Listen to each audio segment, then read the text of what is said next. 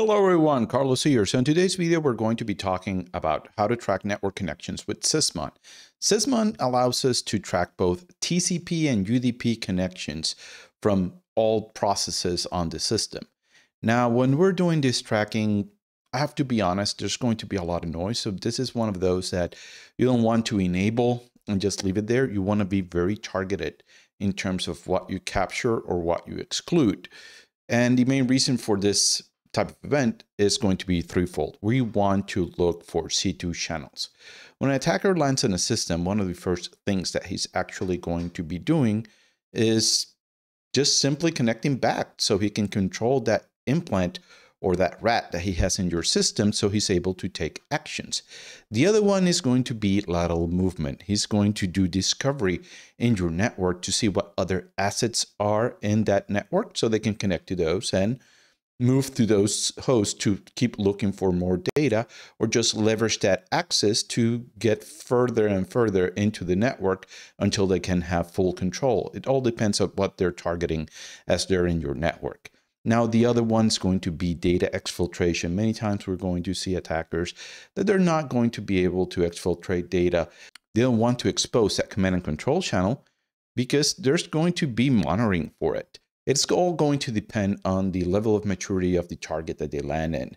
And in those cases, they're going to use a side channel to do that. They're going to compress the data and then exfiltrate it uh, out of the network using probably a storage service that somebody's providing or probably just connecting to a website and putting that there in case that that channel gets detected in the process it doesn't point to their c2 command and control channel so let's take a look at the fields that we have available to us when we work with this type of event. Sysmon is actually going to log all of this data with event ID number three, and we're going to be seeing that the data is broken down into three chunks. The main chunk is going to be the image information or the process that is actually making that connection. So we're going to have the process ID, the image, the process GUID, all of that information. And then we're going to have the protocol information also, which is going to be the source IP, the type of protocol it is. Is it using IPv6? Was the connection initiated or not? And then we're going to have the connection itself. What is the source and what is the destination? and all of the information around that. Now, when we look at this information, we're going to also have the destination port name. That is something that I do not recommend that you use for your filtering because sometimes that information tends to be there and others it may not. Same thing for destination host name is going to depend if you have DNS lookup enabled or not. You can actually control this by using a specific element inside of your configuration file, which is called DNS lookup. And you can set that one either to true or false, and it's then going to perform a reverse lookup for it. The main reason that I don't like destination hostname to be used for filters, at least outside of your network, is going to be that they're going to be pointing many times to content delivery networks or other services that may be load balance or have a, a round robin across them. And when you do that reverse lookup, we're going to be getting different host names for those. And it also opens the door to a lot of false negatives. So I tend to avoid those as much as possible. So let's take a look at building a baseline. So here's my base configuration that I'm going to be using to capture what is going to be the normal behavior of a Windows system. First of all, I'm going looking for C2 channels. I'm going to be looking primarily, as I mentioned before, for web, DNS, and time protocol. Now, in the case of directory ports, which are going to be used to find and enumerate your entire network internally, primarily I'm going to focus on those that I know that most pen testers and other actors have been using. So we're looking here at LDAP. We're looking at LDAP-S. We're looking, in addition to this, the global catalog ports, because if I decide to make my queries directly into the global catalog, it is actually going through a different port. Same thing if it is enabled for SSL. And then I'm looking for Kerberos specifically, which is another port that only LSASS should be using this. So I'm only using this as a baseline. Uh, I have been wrong before. There have been some applications, specifically .NET applications, and probably I've seen one or two Java applications that have their own Kerberos stack. So I like to baseline those in a production environment. In addition to that, we have management protocols, which is going to be the typical ones for use for lateral movement, which are going to be RDP, WinRM, WinRMS, which is over SSL, FTP, SSH, Telnet, SMB, and RPC. Now, these are not the only protocols that you should be looking for. For example, if you're using printers, you would add your printer ports. If you're using a proxy, more than likely port 8443 is going to be different. In addition to that, if you have other networking devices that you're managing, more than likely you'll also be using different port numbers to manage those. And I would include those in the configuration. I've already applied this configuration and rebooted this machine. So if I do get sysmon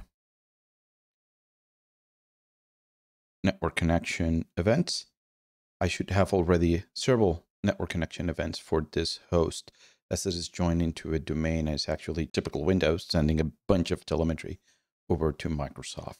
So let's send this out to Out-GridView. So I have a better view of what traffic have I captured. And as I'm looking here, you can see I have background tasks. I have Office looking for updates, the Search app app, SVC host for the different services, Visual Studio Code communicating also to the outside, also, I have other applications here. Let's take a look if we have any others. You'll probably see this uh, unknown process connecting either to Kerberos or to LDAP. So this is a normal one to see that we can actually ignore. Here we have LDAP. Here we can see that it's checking for if I'm registered into Azure AD or not. So directory reg command that's the only one that should be actually performing uh, LDAP calls in my system, unless I'm using MMC for some management task or something like that. Here I have some additional ones.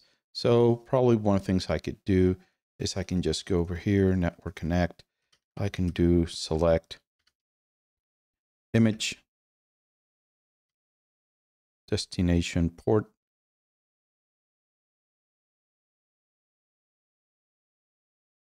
And yeah, I think image and destination port should give me quite a nice baseline. So I'm going to then do a unique here. I'm going to test this to make sure I'm getting the proper information. So here I have all of the different applications and the different ports that they're connecting for in a Windows 10 system. Now, one of the things I would do is I would remove these guys after I created a rule. Here we can see a version number. I would probably just cut this make it into an array and make sure that we have contains all. And this is a pretty basic one that we can use here. Now, if I go into Sysmon modular, for example, so let's go Sysmon modular network connections. You'll see that Olaf already has some very basic ones that we can use specifically for exclusion. You can use this kind of like a general example for your environment, but I rather that you build your own. That is what I typically do for customers is that we build one specifically for the customer. And then what I would do is I would just go over into the root here and I would just simply create this same type of folder structure where I have all of my different configurations for my environment and I would use the merge sysmon XML PSN1 file that Olaf created to merge all of those specifically for my environment and I would do it per task. I'll put a link to the video that he did on this specific script that he wrote. I think that he can explain it a lot better than I can. But as you can see, it's just a very simple process to create this baseline. If I want to create rules, I would just simply pipe this into convert to sysmon rule. And I would have my basic exclude that I would then just simply add at the end tune uh, to this already existing configuration.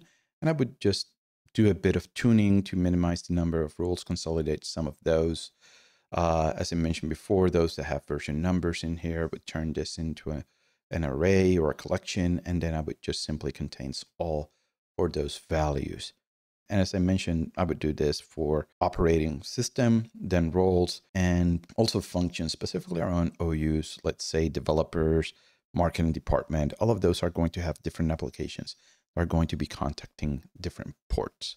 So as you can see, building that initial baseline is not that complicated if you're using tools like PSGumshoe and you're able to build those out uh, from an EVTX file. Now, my recommendation it is to create a baseline per role operating system. Uh, so let's say that we have Windows 22 and Windows 2019. So we create baselines for each one of those operating systems, and then we add other stuff. For example, per role, we have a CA, we have a domain controller, we have a file server, and you create those baselines for those and you merge them together. This is where tools like those that are available from Sysmon Modular, where you can create all of that set of rule sets in individual TXT files or XML files and then have that script merge those in become very, very important. I'm going to include a link to a video from Olaf, the creator of Sysmon Modular, where he actually goes through how to use that script and I think you guys are going to find that information very useful when you're trying to build baselines as big as you're going to be working with when you're tracking network connections. And I think you're going to be able to pull all of the value from that. So as you can see, if we track network connections, we're going to get quite a bit of value. Why? Because let's say, let's bring some examples here, some context to what we're talking about. Let's say that an attacker gets into the system and he sets a SOCKS proxy, and he then starts enumerating your network. He's going to be connecting to your domain controllers and doing LDAP queries. Uh, yeah, normally LDAP queries are performed by LSASS and SVC hosts in a regular Windows machine. Very rarely are they done by other processes, uh, like Office applications. Same thing goes like users are not normally opening Explorer and creating a chair so Explorer then connects to LDAP. So all of that stuff is going to look out of place when you look at times of instances of processes connecting to LDAP. Now, when it comes to Kerberos, well, that's a given. Only it talks Kerberos in a machine. So if you see Kerberos anywhere else, more than likely the attacker is fitting to that box. SOCKS proxy is one of those tools that you're going to notice a lot of people actually use. Now, when it comes to global catalog and LDAP also, one other technique that attackers like using is AD Explorer to do a snapshot of your AD to bring that over into Bloodhound using a Python script, and then they're able to look at path of attack in your network. Also, you're going to be looking at processes connecting to SMB. You're going to see processes connecting to SSH. You're going to see processes connecting across the network, trying to move laterally and those oddballs are not part of that initial baseline, they're going to be standing out when you look at your logs and you're going to be able to track that type of behavior. And I think you're going to get a lot of value because specifically if you're able to do those initial baselines, you're going for the meat and potatoes of most of the actors' activity on your network, which is going to be their command and control channel and it's going to be their lateral movement across your network. So I really hope that you found this information useful. And remember, like and subscribe and see you in the next video.